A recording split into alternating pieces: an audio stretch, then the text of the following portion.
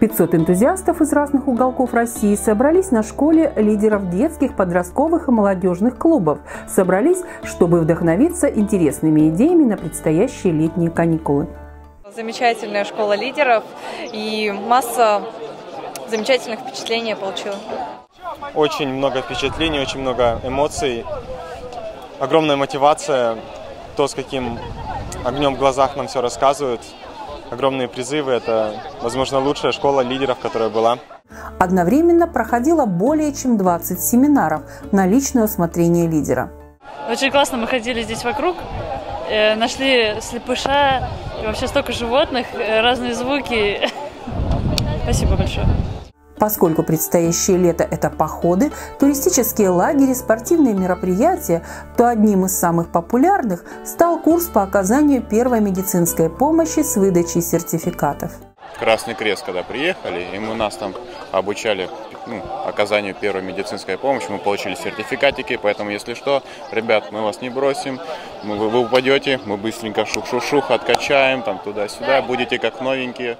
Эта школа лидеров объединила представителей сразу пяти клубов – детского искателя приключений, подросткового следопыт, амбассадор для молодежи до 21 года, клубов студенческого и молодежи постарше. Вообще мне понравилось, что очень интересные, актуальные темы у молодежи были.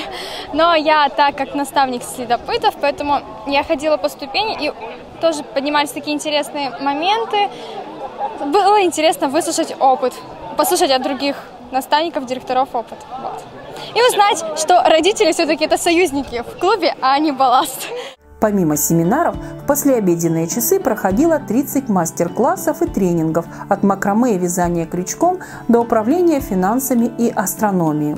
Я считаю, что школа удалась. Очень высокого уровня были преподаватели. И по отзывам, конечно, мы еще будем собирать обратную связь через анкеты, но пока то, что я слышу, то все очень восхищены и очень довольны. И я наблюдаю за молодыми людьми, за их тетрадями.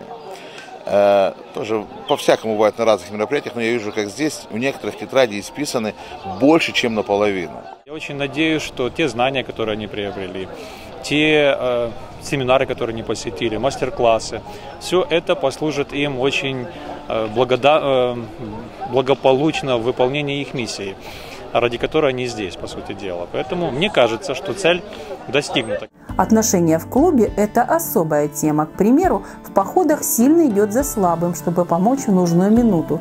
Эти и другие принципы взаимной поддержки воспитывают в юных сердцах заботу друг о друге. Ну, мне, конечно, больше всего понравилось то, что за меня все переживали. Это я тот человек, который с 39 температурой лежала и не могла отойти. И мне действительно эта молитва всеобщая, она очень сильно помогла. Ну, конечно, я старалась не пропускать семинары. Я пропустила только один молодежный семинар. А, а так я сходила ну, на детские семинары по клубам искателей приключений, на специализацию тоже. Одна из участниц школы лидеров, Юлия Качалова, мастер спорта международного класса по гребле на байдарках и каноэ, участница летней Олимпиады, также поделилась своими впечатлениями о встрече. Настолько прекрасно жить среди молодежи, для которых закон Божий настолько э, в, сер в сердце да, записан, что буквально вчерашний э, пример, что я поставила на зарядку свой телефон, в котором э, вложены карточки, водительские права, удостоверения, да, все счета там. А, и я ушла, и часа четыре, далеко от того места, где я находилась был. И я спокойно, даже без страха, могла знать, что я вернусь обратно, я найду его там. Школа лидеров завершилась. Впереди добровольческое служение, а это значит, что полученные знания плюс творческий подход в их применении дадут на практике массу благословений как самим лидерам, так и их клубам. Светлана Корсак, Кирилл Коптев, служба новостей.